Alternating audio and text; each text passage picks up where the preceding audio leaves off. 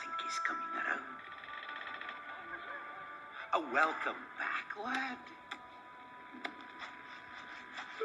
Where am I? You're aboard the good ship Misery. How convenient. Enter emotional pick on cue. Well, you know what they say.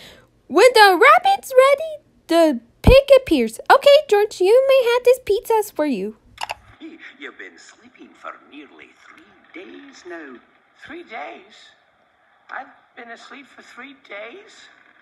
I'm, sh- I'm sure Marina thinks I'm lost forever. Marina? My girl back home. Oh,